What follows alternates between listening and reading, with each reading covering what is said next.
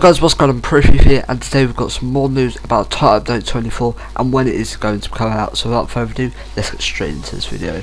So, uh, 4J Studios have tweeted out on their Twitter. They haven't been, haven't really been active recently, but they had um, something that is um, someone tweeted.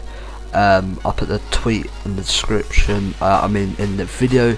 Um, you can read it right now. Basically, they're saying some exciting stuff is going to be happening. So that could mean that there's going to be content actually added.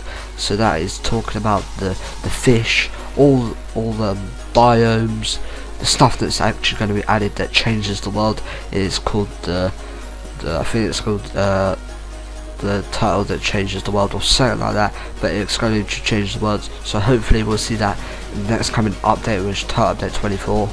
Uh, so this pretty much ended the video guys. So if you liked it please give it a like um, and I'll see you guys in the next video